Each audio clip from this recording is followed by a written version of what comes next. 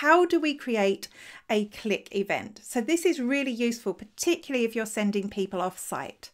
So if you're sending people to your Facebook page or LinkedIn account or whatever, it would be really useful to know that people have clicked that button or clicked that link. And the reason for that is because, of course, you can't add your Google Analytics to LinkedIn. So you can only see that they've clicked that link. So that's exactly what I've got up here. Click this link will bring you to my LinkedIn profile. Now, do want to tell you about a tool that I'm going to use first. It's this one here. It's called Tag Assistant Companion. Now that's a Chrome plugin and it connects up to your Google Analytics account, or actually you can use it on any analytics account on the web and it will tell you if things are firing.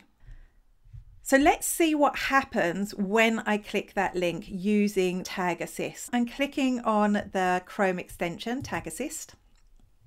You can see the URL it's going to. So I'm going to connect it and click continue.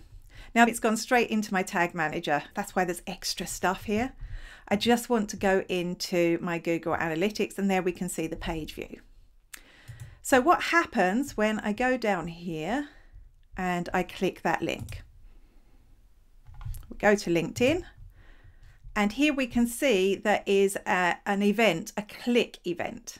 Now that's just a standard event that Google collects automatically. So we want to say when this particular link is clicked, we want to trigger a custom event. So I'm going to click on click. And if I scroll down, I can see all the information. Now this, I, when I was first learning this, I was like, this is so much stuff. I don't know what it means. But really what we're looking for is your event parameters at the bottom, because this is what we can hook into. And here we can see there is an event parameter called link URL. So this is the information I'm going to need. I want to set up a click event and then I am going to set up that click event that is going to contain some of this. So I'm not sure if I made sense there, but well, you'll see when I do it. So I'm going in, let's just look at where I went to again. I went into admin and I went into events and I click create event. Click on create test, click LinkedIn. So that's enough information to tell me what that's going to be when it appears in my analytics. So the event name, remember what we're looking for here is the click. The event name is click. And if I click into the, this, actually scroll right down to the bottom, event name, click, we can see that there. So we're just matching that up. I'm going back in here and I'm saying the event name equals click and then because we don't want to measure all clicks, I need to add a second second section, a parameter here. This one isn't going to come up automatically when I start typing.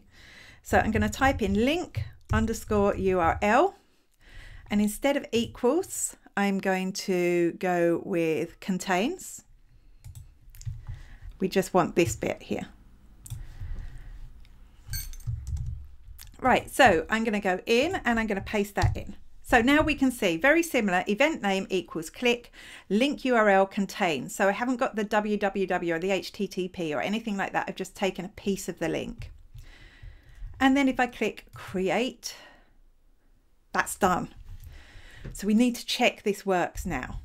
And because we're, we're, we've done something, we need to refresh. I need to start that tag assist off again. So I'm going to go back to the page that it happens on, click on the tag assistant, Yep, it's got the right URL in there. Click connect.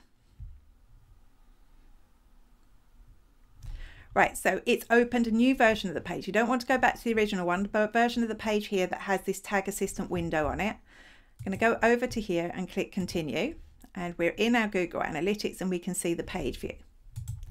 So now let's scroll down. And this is always nervous in case I mess something up. Click this link and if we go back, there we can see our custom event has been triggered. We've got click, which is the standard event, and we've got test click LinkedIn. So now I can start to see in my Google Analytics how many people are clicking that LinkedIn link.